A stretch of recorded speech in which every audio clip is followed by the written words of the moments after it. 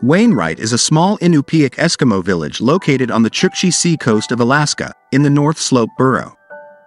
The village is situated on the Wainwright Inlet, approximately 80 miles southeast of Barrow, the largest city in the North Slope Borough. The history of Wainwright dates back over 1,500 years, when the first Inupiaq people settled in the area. The village was originally called Utkivik, which means place where you kalik, a type of fish, are caught, in Inupiaq.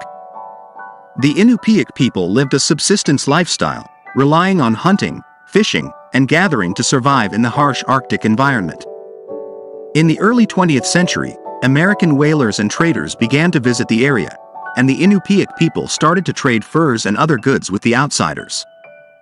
In 1904, a post office was established in Wainwright, and the village was officially renamed after the Reverend Samuel Wainwright, a missionary who had worked in the area. During World War II, the United States military built an airfield near Wainwright, and the village became an important base for military operations in the Arctic.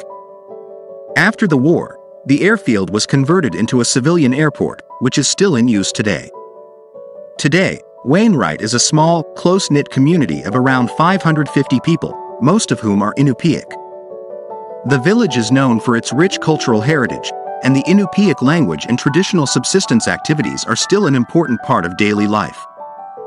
Fishing, hunting, and whaling are all important activities for the community, and the village hosts a yearly whaling festival, known as Nalukataq, to celebrate the subsistence harvest.